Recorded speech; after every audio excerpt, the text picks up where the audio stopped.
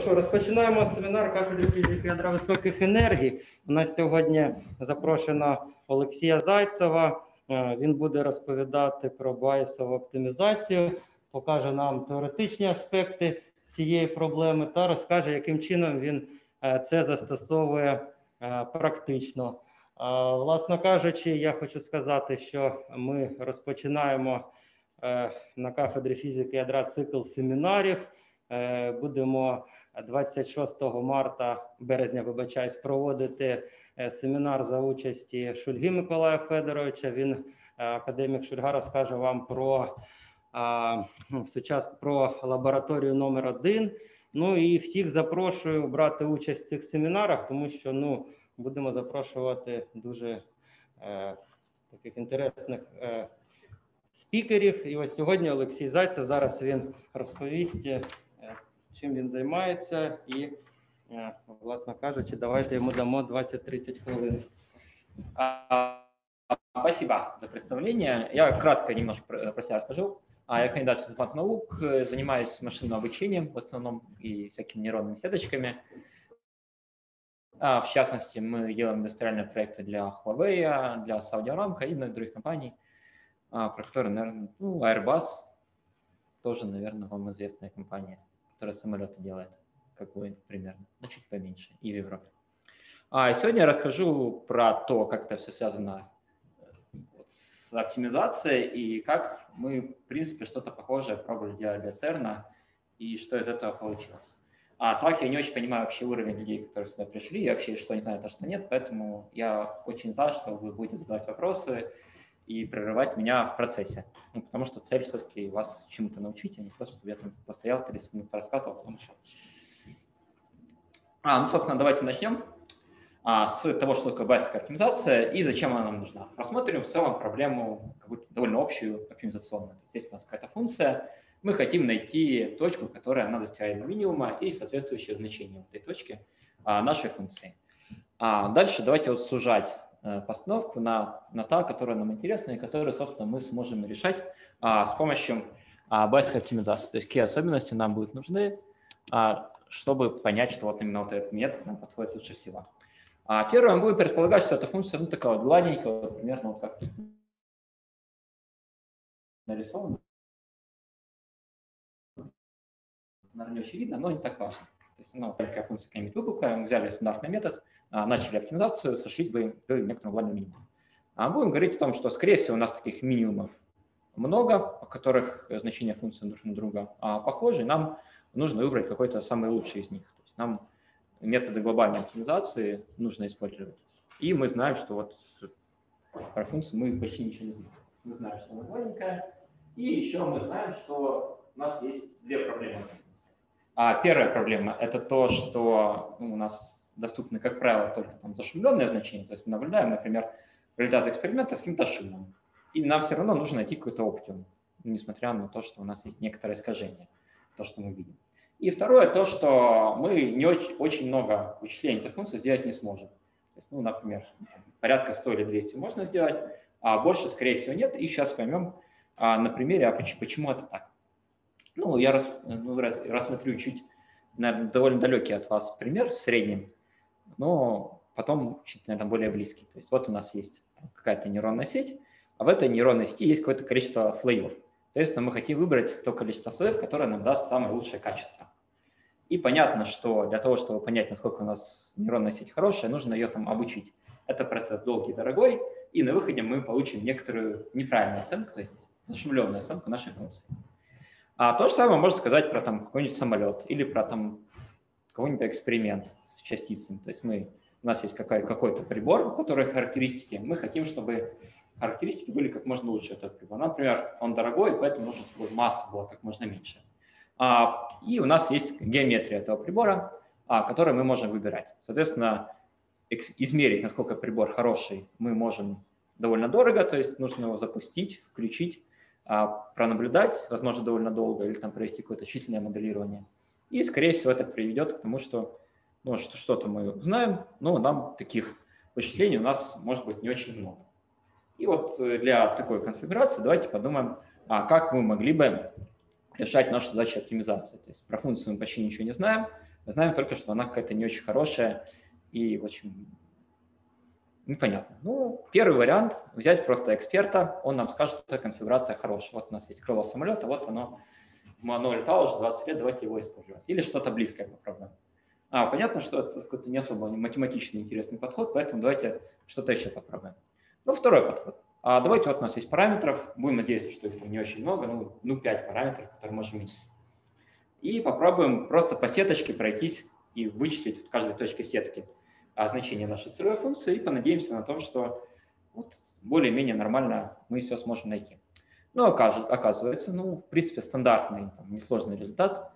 А, про то, что если мы хотим даже для там, какой-то лившей непрерывной функции там, с, там, так, что у нас оптимум, который мы найдем, будет не сильно отличаться от того оптимума, который истинный, а, то нам нужно будет провести экспоненциальное по размерности количество нашей наблюдений по сеточке. То есть нам нужно там, 10-14 степени, тут опечатка, прошу прощения. И понятно, что никто нам не даст так много вычислений сделать, а, и поэтому, ну, скорее всего, ничего хорошего мы найти не сможем. Ну, третий вариант, а, тоже такой эвристичный и простой. А давайте попробуем просто не по сетке пройтись, а по росту случайной точки накидать, посчитать случайных точках значения функции – и понадеяться на то, что нам опять повезет. Ну, в принципе, это работает, но понятно, что нам хочется приложить что-то более интересное, и которое будет учитывать вот какие-то наши знания про, нашу, про ту функцию, которую мы хотим оптимизировать. А что мы... Давайте рассмотрим примитивный, простой пример такой функции. Вот у нас есть четыре точки, одномерная функция, и нам нужно понять, а где считать нашу функцию дальше. Вот. Какие у вас предположения, где бы хорошо посмотреть еще? То есть где мы выбираем. Вот. Нулевый. Почему? Кажется, что наоборот будет туда расти, мы хотим минимизировать ее. Что? 0,8. Ну, наверное, получше будет. Между вторым и третьим. Ну да, да, где-нибудь так, наверное. То есть мы пытаемся вот какое-то наше априорное знание про нашу функцию перевести вот где у нее будет, скорее всего, минимум, и попытаться в следующий раз посчитать нашу функцию вот в этой новой точке. Ну, можно сказать, что у нас есть какой-то внутри в голове огромный там мешок с функциями, мы достаем какую-то функцию и смотрим, а, вот, а где у нее минимум. То есть возьмем вот одну функцию. Ну, вот, у кого-то из вас такое может предположение про то, как эта функция выглядит на самом деле. У кого-то другое.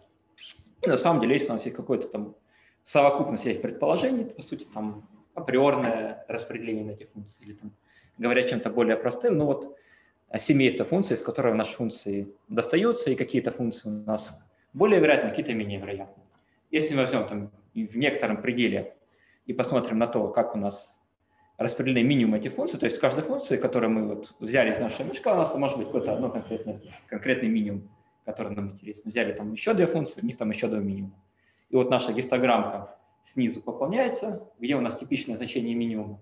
Пошли дальше, у нас получилось вот такая все более и более гладенькая гистограмма, и в пределе, если мы умеем хорошо описывать такое семейство функций, у нас а, появится распределение значения, где у нас может быть минимум быть. В данном случае у нас получается, что наиболее вероятное значение в наших предположениях про функцию будет там в районе 0,55 и примерно 0,7, я не знаю. Точнее, я не скажу к этому графику. И, собственно, примерно а, в рамках такой идеи мы сейчас будем пытаться работать упрощая ее, адаптируя к тем случаям, когда мы все-таки можем что-то посчитать. Мы можем конкретно вот это распределение восстановить или что-то на него похожее, то есть что-то, что нас может помочь а, ввести некоторое предположение про то, с какими функциями мы работаем, ну, помимо того, там, общих слов, которые я сказал вначале, и критерия, как нам выбрать следующую точку с учетом того, что мы хотим в итоге там минимум сделать. А, и тут есть два соображения, которые нам нужны, чтобы такой алгоритм построить. А первое соображение, оно в, этом, в нем ничего нового не будет, то есть мы все еще хотим найти минимум нашей функции, и мы предполагаем, что вот эта функция, с которой вот мы работаем, то есть вот, которую мы взяли и достали, вот у нас какой-нибудь там f крышкой, одна из этих функций, она близка к нашей целевой функции. То есть если бы мы знали нашу функцию в точности и могли ее там считать, то все у нас было бы решено, можно. То есть мы сделали много вычислений и нашли бы оптимум. А в реальности у нас есть некоторая вот эта наша модель функции, вот, которую мы почти случайно берем, и у этой случай, случайной модели мы, если она близка, можем использовать ее вместо нашей исходной модели. А поэтому, собственно, она называется суррогатная модель, или там, как, как еще, ну, суррогатное нормальное название, ничего там лучше, наверное, нет. То есть мы предполагаем, что у нас есть некоторая модель нашей функции из нашего мешка, и мы говорим, что мы будем использовать ее для поиска минимума. И в этом случае, если мы очень хорошо угадаем нашу функцию f, и вместо... Это какая-то затравочная? Ну да, да, она будет похо- похожа на, на- как нашу функцию. То есть мы надеемся, что вот мы пронаблюдали четыре точки, сделали хорошее предположение про то, какая функция у нас есть. И если это предположение близко к истине, то получается, что вот мы задачу почти решили. Это, собственно, первое, что мы будем делать. И второе, это будем заниматься активным обучением. То есть будем пытаться сузить круг гипотез, то есть круг функций крышкой, которые, в принципе, могут нам подойти. То есть мы будем пытаться смотреть, а какая, какая точка, если мы в ней посчитаем функции, снизит нашу общую неопределенность по поводу вот тех функций, с которыми мы работаем. Вот. Оно будет не вот такое огромное большое пространство. Мы пронаблюдали, у нас как-то все это коридор сузится по поводу того, что мы наблюдаем. То есть получается, что мы будем бить либо с точки зрения того, что вот мы уже нашли хорошую функцию, давайте найдем ее оптимум, а, или скажем, что а давайте больше узнаем про нашу функцию и будем выбирать точку, которая нам дополнит наши знания про вот наши функции. И в результате на следующем шагу у нас будет уже другая вспышка, а, которая будет ближе подходить к истинной функции f, и в итоге мы получим то, то, что мы хотим. Мы найдем за минимальное количество вычислений нашу а, целевую функцию. Если это говорить там, стандартными терминами, то первая стратегия – это exploitation, а, то есть мы пытаемся понять, вот найти те, значит, те области, в которых значение нашей функции маленькое, и там еще одну точку посчитать, поближе к предполагаемому оптимуму. И вторая стратегия – это exploration. То есть мы будем пытаться э, класть точки туда, где у нас большая неопределенность про наше значение функции. И где мы улучшим нашу аппроксимацию, либо лучше поймем про нашу функцию. И, собственно, те функции, которые на основе всего этого будут работать, они как раз пытаются балансировать эти два, две стратегии общие для оптимизации. А первая, естественная стратегия, которая из этого вытекает, это называется критерий а, upper либо confidence lower bound. А как она работает? Вот наш. А если мы вот мы предполагаем, что вот мы знаем нашу функцию, вот, и прогноз этой функции, которая есть, у нас это μ а, со звездой. И если мы не, у нас не было никакой неопределенности про нашу функцию, то есть мы функцию знали в точности, мы взяли просто оптими, оптимизировали бы эту со звездой. Но так у нас есть некоторая определенность, мы еще добавляем штраф за то, что у нас, точнее, наоборот, поощряем э, смотреть туда, где у нас большая неопределенность. Это второй член, а, который сигмой, он как раз про то, что мы смотрим на неопределенность сигмы, то есть вот на эту вот синюю область вокруг каждой точки, которая у нас есть. И, соответственно, выбираем коэффициент при сигме, мы балансируем а, стратегию, когда мы пытаемся вот найти какую-то новую точку хорошую, и найти ту точку, в которой у нас большая неопределенность. Так, тут понятно или нет, что происходит? Ну, добавление еще одной точки может привести к тому, что аппроксимация полиномом более старшей степени приведет к. А, смотрите, да, это хорошее замечание и правильное, потому что, видимо, я забыл сказать это чуть-чуть пораньше. То есть, а ту аппроксимацию, которую мы будем строить, она не будет полиномиальной, потому что полиномы мы считаем плохими. А, чем мы аппроксимируем? А, мы будем аппроксимировать методом, который называется регрессия на основе гаусских процессов. Ну, я не знаю, времени у нас, наверное, не будет на особо проговорить про него. Но суть в том, почему полиномы плохие. Потому что если мы аппроксимируем там по 10 точкам полином 10 степени, то у вас, скорее всего, давайте нарисуем что-нибудь типичное для этих полиномов. 4 точки, вы провели полином там пятой степени, у вас понятно, что как бы это как-то не очень гладненько и, скорее всего, не соответствует тем предположениям, которые у нас есть.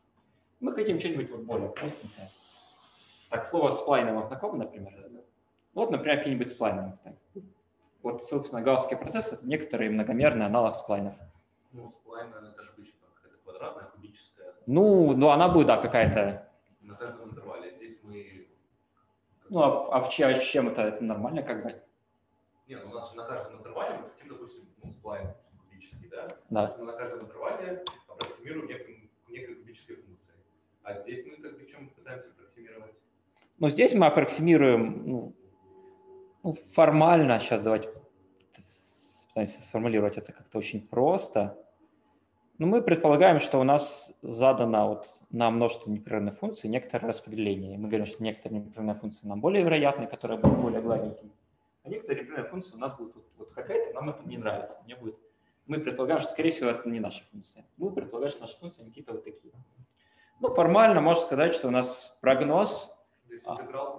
а прогноз в точке для наш прогноз, это будет суммой наших известных значений в точках x1 и так далее до x и с некоторыми весами. И эти веса, ну, в самом простом варианте, это могут быть просто некоторая мера того, насколько вот эти две точки далеки. То есть мы говорим, что если у нас две точки близки, то, скорее всего, так функция гладкая, то у них значения близкие. И мы такую взвешенную сумму получаем в виде нашего прогноза. Мы это делаем, гаусский процесс делает это несколько более правильно, несколько более сложно, но идея примерно такая. То есть как нам подобрать веса вот известных значений, чтобы получить значение вот какой-то новой точки. Еще раз, как метод называется? А метод называется регрессия на основе гаусских процессов. Или Gaussian Cross Regression. Давайте напишем тоже.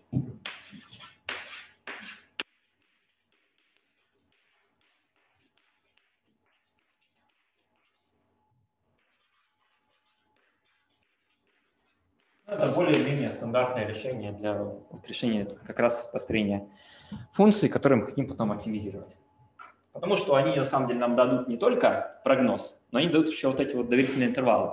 То есть мы будем для каждой точки знать не только, что мы что-то спрогнозируем, мы еще будем обладать некоторой оценкой про то, насколько мы уверены в своем прогнозе. То есть мы будем еще знать, насколько у нас прогноз может сильно отличаться от реальности, ну, в рамках наших предположений, конечно. И это в целом ну, одна из самых адекватных оценок, которая существует. В целом, по-моему, прям хорошего решения оценки неопределенности. Для решения задачи оценки неопределенности в аппроксимации у нас кажется, что нет, которое на практике очень хорошо работает. Ну, это, наверное, одно из лучших, что есть на данный. На данный момент. А, есть теорема про то, что это все работает, в принципе, не так плохо. То есть, ну, давайте ее тоже, наверное, там, подробно не будем смотреть на вот эти все кусочки, которые тут есть, предположения.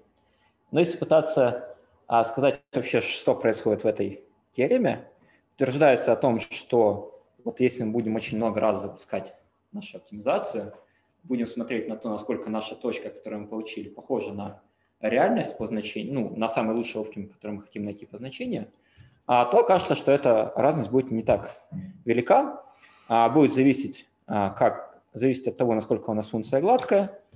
Это вот, если смотреть на конкретную формулу, это а, вот, это, вот эта гамма определяет, насколько гладкая функций.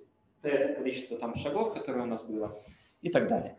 И если там пытаться вот суммировать эту теорему, то окажется, что если у нас будет много вычислений этой функции, то у нас разность между значением, которое мы будем брать в оптимуме, реальном и в оптимуме, который мы найдем, и поделим это все там, и берем среднюю такую разность, то она будет а, близка к нулю. Ну, в, пределе, в пределе вообще будет ноль, если у нас будет бесконечное количество вычислений. То есть получается, что если у нас есть там некоторое, ну, нормальное предположение про функции, то а, такой алгоритм на основе вот, и, вот этих двух суммы этих двух терминов, которые учитывают то, что у нас есть какой-то прогноз, какая-то неопределенность, а, даст нам в целом адекватное представление про то, а где эту функцию, где оптимум этой функции искать. Хорошо. Что еще бывает, кроме вот этого критерия? А, бывает еще критерий, который называется expected improvement или ожидаемое улучшение. Его обычно так переводят. А суть в том, что тут написана сложная формула, но опять давайте смотреть на суть, а не на формулу. А суть в том, что мы пытаемся понять, а насколько мы улучшим значение функции, если мы будем тыкать вот эту конкретную точку. То есть мы попытаемся посчитать где-нибудь вот, вот тут вот все, и смотрим, какое ожидание того, что то значение, которое мы найдем, а будет лучше того значения лучшего, которое у нас есть в данный момент. Оказывается, что мы можем достаточно хорошо, если у нас есть, опять же, модель на основе гаусских процессов, а, прямо скажем, аналитически посчитать, ну, там, конечно, что нам нужно будет уметь считать плотность и а, кумулятивную функцию распределения для нормального распределения, но кажется, что там современные все пакеты это делают достаточно хорошо. А, и так вот это вот пример еще одной функции, которая работает уже не очень хорошо. это максимум вероятности улучшения. Она про то, что мы считаем не абсолютное значение, то есть насколько у нас лучшее значение получилось по сравнению с тем, что было, а считаем вероятность того, что мы улучшим текущее значение. То есть мы а, определяем нашу функцию, которую мы хотим оптимизировать, которая тоже, опять же, как-то балансирует эти вот две стратегии исследования и там exploration and exploitation, а просто считаем вероятность того, что наше текущее значение, которое мы посчитаем на следующем шаге, оно будет меньше, чем то значение, которое у нас есть на данный момент. Этот критерий вроде нормальный, но на практике он работает не очень хорошо, а, потому что он очень жадный. Он как раз неправильную сторону балансирует исследования там, и, и использование тех знаний, которые у нас уже есть, и пытается очень часто тыкать вот а, туда, куда мы уже, собственно, уже посмотрели. То есть вот пример на этом слайде это как раз демонстрирует. То есть вот значение вот этой так называемой acquisition function, оно вот на нижнем слайде, не, тут снизу. И видно, что максимум вот этой функции, который говорит нам, а какую точку считать следующей, он находится вот в той точке, которая уже есть. Ну, как бы, если мы будем постоянно тыкать одну и ту же точку, скорее всего, вот эту глобальную оптимизацию мы решить не сможем, потому что у нас будет все, мы все время будем исследовать какую-то очень маленькую область. Ну, наверное, как бы плохая идея. Ну, собственно, можно сравнить это с тем, что есть для других наших функций, которые можно использовать чтобы для выбора следующей точки. И тут видно, что, ну, в принципе, гладенько и все разумно, вот этот нижний график. То есть мы где-то вот тут будем считать все. И если говорить про вот этот upper confidence bound, там тоже все вроде как адекватно получается. И опять же, эти все эффекты, они, как правило, усугубляются, если мы смотрим не на одномерный случай, а на случай, когда у нас там много переменных функций, которые мы хотим оптимизировать. Ну, есть еще более современные подходы, которые там связаны с оценкой, а, ну, например, там, э, энтропии между тем, насколько как бы, мы уверены в локации минимума. То есть мы пытаемся оценить, насколько наша неопределенность в той точке, где находится минимум, изменится после того, как мы еще одну точку добавим. И мы так тоже можем делать. И, правда, там уже явной формулы не получается, нужно использовать там методы приближения, там, которые там, а, я не знаю, там, наверное, вы, я не знаю, слышали или нет, но, в общем, как бы, по сути, это штука на основе подхода Монте-Карло, Монте-Карло, наверное, это у вас что-то знакомое должно быть. Вот, собственно, на основе Монте-Карло мы оцениваем эту самую сложную функцию, которую мы хотим оптимизировать, и это вроде как неплохо может работать. А, таким образом, что у нас получается? Мы взяли проблемы, которые, вообще говоря, мы решить, наверное, не можем, оптимизация f э, тяжелой функции, и свели ее к серии задач, к набору задач, и каждая задача у нас в том, как выбрать следующую точку, исходя из вот этой нашей суррогатной модели, исходя из того, что мы хотим что-то новое узнать, и исходя из того, что мы хотим что-то минимизировать. Это альфа можем считать очень часто, очень много, а кроме того, мы, как правило, можем считать градиенты это альфа, то есть э, вот на каждом шаге мы, получается, приходим к задаче, которую можем решить, как правило, каким-то градиентным спуском, да, да, градиентным методом. Ну, не знаю. Там, кто из вас знает, что такое градиентный метод? Окей, а кто не знает?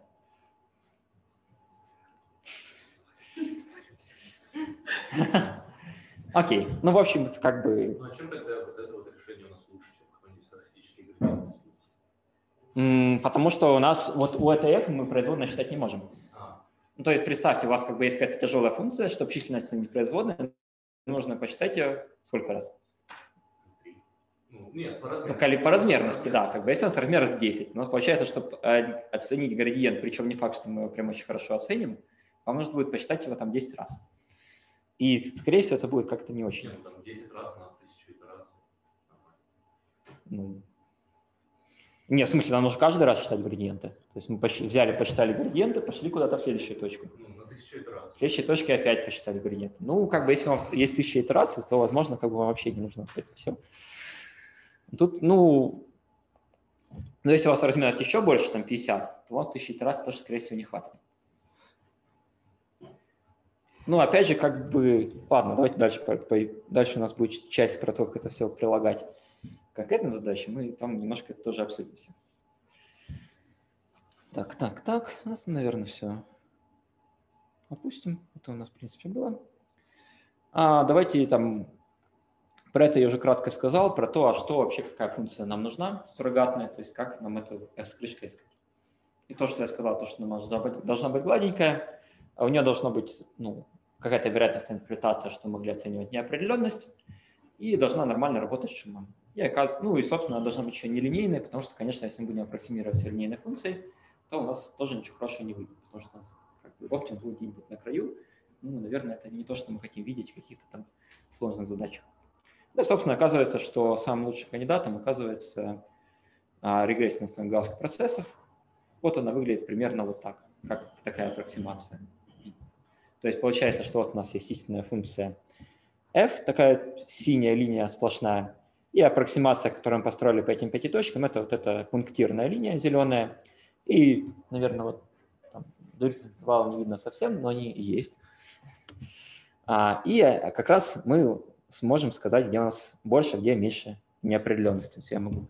Вот тут у нас, вот у этой точки неопределенность какая-нибудь вот такая.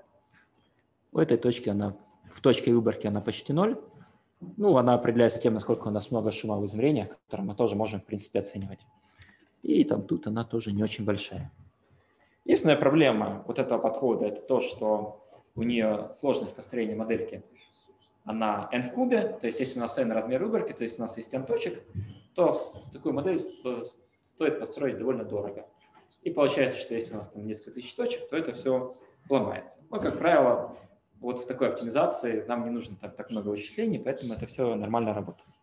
Опять же, так это метод а, основан на том, что у нас точки близки друг к другу, и как бы на основе оценки близости, то эта штука не будет работать в больших размерностях. То есть если у вас там размер 50 или 100, а, то у нас вот эта вся близость, она ломается. У нас все точки становятся друг от друга далекими. Там, это можно там более-менее формально рассказывать, но как бы факт в том, что методы на основе близости, они перестают нормально работать в больших размерностях. Но тут нужно тоже учитывать как бы, и что-то пытаться делать.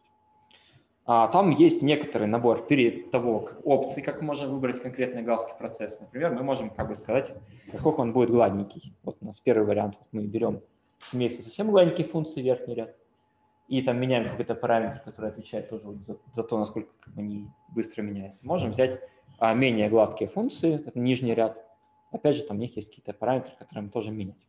Это тоже мы можем оценивать по той выборке, которая у нас есть. То есть мы смотрим на эти точки, которые есть, Оцениваем параметры гладкости, оцениваем шум. Это можем делать достаточно хорошо. Есть там теоремы про это, и есть какой-то практический опыт про то, что это тоже происходит нормально. И в итоге получать а, разумную аппроксимацию. И на практике, как правило, как правило используют конкретный вид, который говорит вот эти функции близости, которые называются квадратичная экспоненциальная функция. В качестве критерия обычно используют вот этот upper that's bound, либо улучшаемое, ожидаемое улучшение. И, например, как бы если вот вы слышали про AlphaGo, это штука, нейронная сеть, которая умеет играть в Go лучше, чем человек. Обучали ее как раз тоже с использованием байсовской оптимизации, то есть выбирали то, как у нас будет выглядеть архитектура нейронной сети именно с помощью такого рода работ. Ссылка есть. А, как типичный сценарий использования вот этого всего дела, это оптимизация параметров модели машинного обучения, точнее гиперпараметров. И тут как бы есть более-менее стандартное решение. То есть если вы хотите все это использовать на практике, вам, скорее всего, не нужно будет погружаться в эти все глубины, разбираться в том, что такое регрессия на основе процессов, а достаточно будет взять готовую библиотеку на питоне, которая называется Aptuna, а запустить в ней решение какой-то своей задачи, то есть прикрутить там черный ящик, который считает там, вашу вот функцию тяжелую, а, сказать, что вот, вот он, Aptune, и Aptuna за вас почти всю работу сделает. Она использует немножко другой метод, который называется там, три structured parsing estimator, но идея там, в принципе, чем-то близка. Есть другая библиотека HyperOpt, которая появилась чуть раньше, но я так понимаю, что на практике она работает чуть хуже. То же самое можно использовать для оптимизации не гиперпараметров, а крыльев, и даже для оптимизации детекторов частиц. И я так понимаю, совсем, прямо скажем, я, то, что знал, я уже успел забыть после того, как выпустился. А, но суть в том, что у нас задача стояла в том, что там есть некоторый уловитель частиц, и, собственно, мы хотим, чтобы мы улавливали как можно меньше известных частиц. Тогда, наверное, сможем улавливать более интересные частицы. И, собственно, эта штука довольно большая, дорогая, поэтому давайте попробуем сделать ее меньше, сохранив эффективность, то есть насколько она а, много либо мало всего улавливает. А там получается задача размерности примерно 50, а, и вот черный ящик, который мы там можем запускать примерно тысячу раз. А в итоге оказалось, что мы смогли найти конфигурацию на 25% для публикации. Вот тут, наверное, я могу там после лекции там, просто разослать презентацию, да, вы посмотрите. В общем, как бы для вот этого всего это тоже работает, и в ЦЕРНе, по-моему, довольно много всего такого пытается делать, и даже что-то получается. Ну, наверное, у нас как бы... Могу еще рассказать кусочек, могу не рассказывать. Пять минут. Пять минут давайте.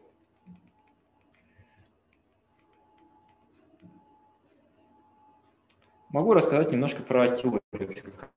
как- Выглядит типичная теория. У нас есть некоторая функция f, которую мы хотим оптимизировать. Мы предполагаем, что мы это делаем в течение серии раундов. На каждом раунде мы выбираем точку из некоторого множества d. А потом, после того, как мы точку выбрали, мы наблюдаем значение этой функции с некоторым шумом. Это шум эпсилон, который там написан на слайде. И наша задача оптимизировать а, сумму ну, наград за вот, вот те учения, которые мы делаем.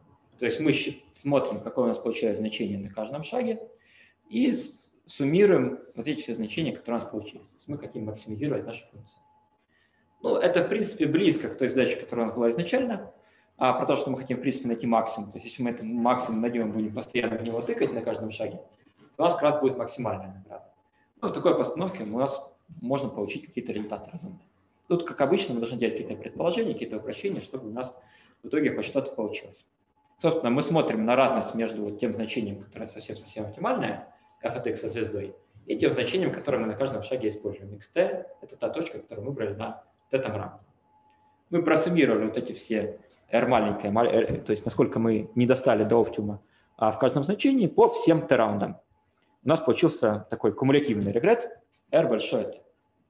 А, и получается, что ну, как бы совсем-совсем общая задача, а, чуть, чуть более простая, про то, что мы хотим, чтобы с увеличением количества шагов у нас этот регрет был мал по сравнению с количеством шагов. Это будет означать как раз, что в каждый конкретный момент мы, скорее всего, близки к истинному оптимуму. То есть у нас значение небольшое.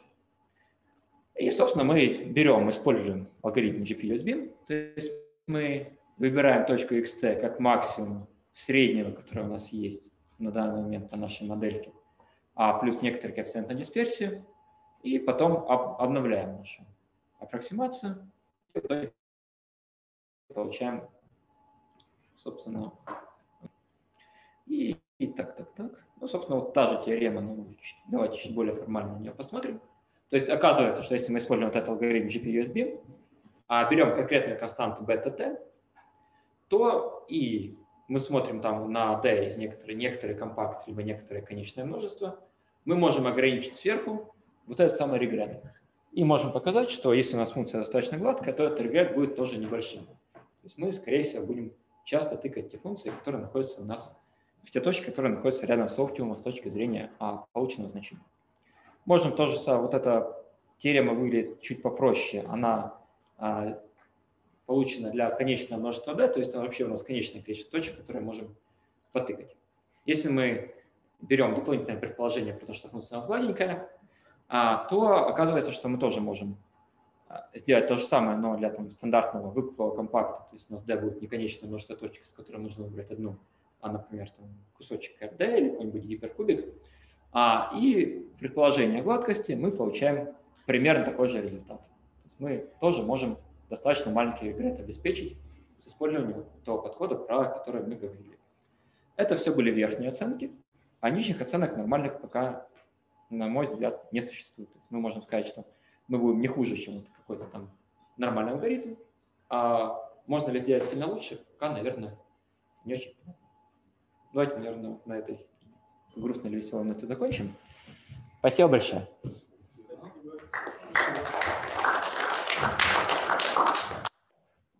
Уважаемые слушатели, вопросы из аудитории. Вначале давайте какие-то к Алексею. А, Вопрос. Вот вы говорили, о том, что мы выбираем как вот это вот среднее с звездочкой, как э, среднее от чего? Как среднее от наблюдаемых точек? Вы про вот эту формулу? Не-не-не, то, которую мы в самом конце обсуждали, где у нас было y со звездочкой. Ну, x со звездочкой, да? Вот как мы выбирали это? Ну, x со звездочкой, ну, на практике мы используем x со звездой, которая соответствует текущему минимальному значению, которое мы нашли. Ну, в теории мы можем смотреть вот на тот недостижимый оптимум, который мы где-то есть у нас. А, то есть вот это вот вероятностное... Ну, даже, даже мо- можно сказать, что у нас есть какая-то истинная функция, где-то у нее есть оптимум. Вот на него мы смотрим, да. А в итоге мы предполагаем, ну да. м. Ну, а на практике получается, что мы там чем-то моделируем, и эта модель у нас становится все более ближе и ближе к нашей целевой функции в итоге. Так, а с чем связан этот вопрос? То есть, Не, ну просто ну, непонятно было, как оно будет. Ну, мы считаем, что вот нам где-то там он известен, у нас есть оракул, который знает вот этот x со звездой, и мы, он как бы измеряет, насколько мы хорошо работаем. И можно сказать, что мы достаточно хорошо будем работать, хотя, конечно, x со звездой на практике не знаем. А вот вы говорили, что вот эта байсовская оптимизация используется в AlphaGo, э, Да. но при этом я думаю, что в AlphaGo у нас же есть большое количество параметров. Но смотрите, тут как бы, если мы говорим про нейронную сеть, то обычно там есть два класса параметров, так называемые параметры и гиперпараметры. Параметры – это вот веса, ну, которые да. А гиперпараметр это вот сколько у нас нейрончиков. И получается, что вот там, так мы можем посчитать градиент функции потерь по... Понятно, ну то есть мы о чем же говорили? Говорили о том, что если параметров много, пространство многомерное, оптимизацию плохо используют. Да-да, смотрите, то есть получается, что для того, чтобы оптимизировать параметры, это решенная задача, мы решаем, решаем ее просто SGD, да, вы были правы. То есть параметры можем оптимизировать. А вот гиперпараметры, А, по ним уже нет производной, то есть мы не можем взять производную по количеству нейронов. И поэтому мы вынуждены прибегать к другим методам, в том числе байсовской оптимизации. Еще вопросы? Вопрос есть, можно Давайте. такого типа, ну такое как бы подвести черту, Мгм. так сказать, и итог, суть. Э, Скажите, пожалуйста, вот э, из рассказа вроде бы понятно, что мы ищем, в каком классе функций мы работаем? Вот ваши э, пожелания, да, Да. каким-то задачам, может быть. Ну, как Ведь правило, функции должны быть интерполяционного типа, правильно? Ну, предполагаем, ну, формально, есть как бы, я могу дать два ответа, наверное, на этот вопрос. А первый ответ – это как бы бы в том, что мы вводим некоторые а, reproducing kernel, kernel Gilbert space, который на русский язык переводится примерно как э, гибертовое пространство с э, воспроизводящим ядром. И, собственно, это ядро нас определяет, а, какие функции мы рассматриваем. Если мы возьмем бесконечно дифференцируемое ядро, у нас будет бесконечно дифференцируемая функция. Если мы возьмем ядро там два раза дифференцируемое, у нас получится класс функций там два раза непрерывно дифференцируемых. Он будет включать не все функции такие, но довольно большое количество. То есть про любое такое пространство можно сказать, что если у нас есть э, какой-то набор точек, мы можем с точностью через них провести функцию. А, Ну, то есть наша задача строить все равно интерполяционный полином, правильно? Ну, не полином, но другой класс функций. На множестве каких-то функций, Да, да? да. А какой критерий? Э, Критерия никакого нет, да? Просто вот э, как нам нравится, да, лишь бы полином удалось построить. Ну. ведь, э, а ваши рекомендации, ну, Лагранж не годится, Э, что мы берем дальше? Только Ну, смотрите, э, а мы используем немножко другой класс функций, то есть полиномы мы считаем, что они как бы у них есть некоторые проблемы с тем, что они очень у них очень плохие экс- экстраполяционные свойства, то есть мы хотим по сути экстраполяцию некоторые делать. А поэтому мы используем класс функций, там, который называется там, регрессия на основе гаусских процессов, а, которые говорят о том, что это, ну, нек- э, с некоторой точки зрения это линейные оценки. Мы говорим о том, что а, значение нашей функции там, в новой точке это будет линейная сумма известных значений. И веса в других значениях, она будет определяться, насколько эти точки далеки друг от друга. Но э, обязательно строго, да, нужно, чтобы был полином интерполяционный, да, через точки проходил. Ну, нет, иначе нет, не обязательно. А тогда Чебышев может быть лучше. Чебышев. М, в смысле, Полиномы как бы они глобально не очень хорошо работают. То есть Да, Чебышев. проблема, проблема в том, что у нас Нет. очень быстро наступает э. Ну, ладно, да, да, ну, я могу рассказать, как бы, что я просто по поводу, моих- по поводу полиномов интерполяционных. То есть, смотрите, проблема в том, что а, как бы у нас, э, а если мы пытаемся аппроксимировать, вот у нас там есть 20 точек, и мы пытаемся аппроксимировать как бы в 20 степени, у нас получается очень такая ну, негладенькая функция. Тут, ведь, понимаете, такой вопрос, я извиняюсь, перебиваю. Ведь Да. мы все равно же, критерии у нас, ну, гаусс, да, у нас накапливается Да. большое количество. И мы должны ж каких в точках мы не можем проверять. Мы только в одной точке какой-то берем, то есть на выбор, да, произвольную точку и фактически к ней привязаны, да, к одной единственной точке. Определились и говорим, хорошо, минимум получили, да.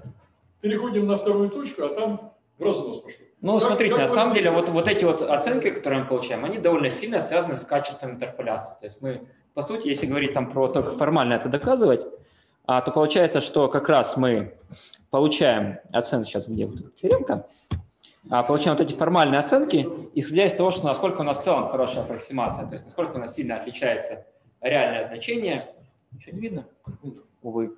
В общем, насколько у нас э, отличается, давайте напишем на доске, то есть насколько у нас реальное значение для конкретной точки будет отличаться от того, что в нашей точке. Это штука, которую, которая позволяет, вот если мы оцениваем вот эту разность В среднюю, какой точке? В одной только, правильно мы берем? Вы рекомендуете? Или, или тут не важно, да? ну, по сути, в идеале мы хотим, конечно, взять интегральчик.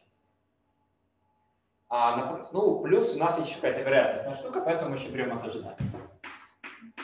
По всем функциям исходя из того вероятностного распределения, которое мы на них навесили сверху. И получается, что вот на практике эта штука, в принципе, довольно неплохо приближается, ну, не знаю, а выборочная оценка. Нам, собственно, обычно больше ничего не Можно, например, сказать, например, что вот это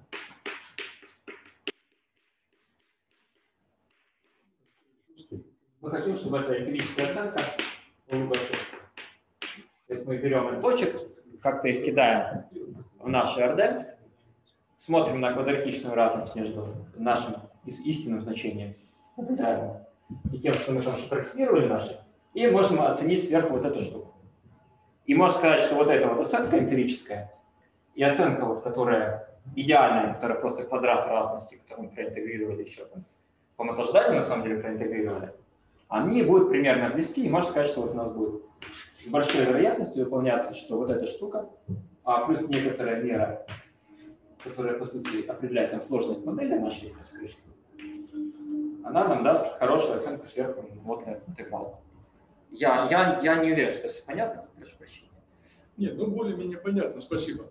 И я хотел бы, чтобы вот рекомендации, так сказать, для нас, для всех. Вот смотрите, мы обрабатываем, допустим, данные экспериментальные, Да. да? Обрабатываем данные. Метод э, фитируем, фитируем. Да. Да. И будет ли вот такой подход более выгоден? Допустим, у нас 6 параметров, да, Мгм. какое-то конечное время и так далее.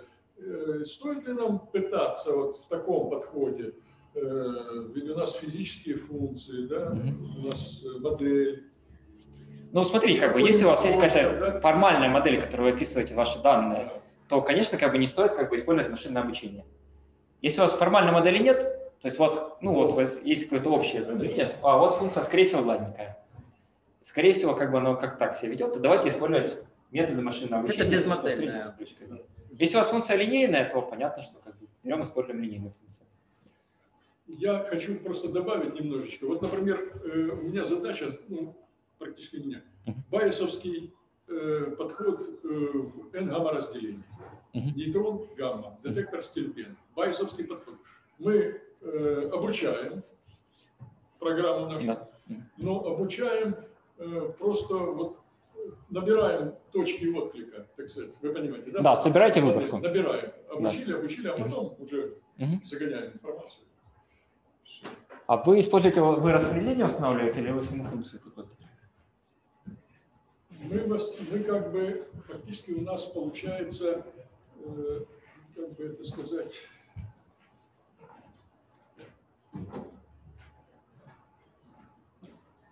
Ну, я думаю, даже может, не скажу сейчас. давайте так. Ладно. Я думаю, что мы можем это обсуждение, так сказать, перенести в кулуары. Да, да, Э, спасибо. Значит, э, коллеги онлайн, есть ли вопросы к докладчику? Уважаемые хто Дякую, ні. Запитань немає, так? Ну, добренько. Тогда давайте еще раз поблагодарим докладчика. Спасибо.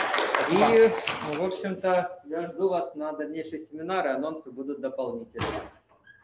Все. Спасибо большое. Всего доброго.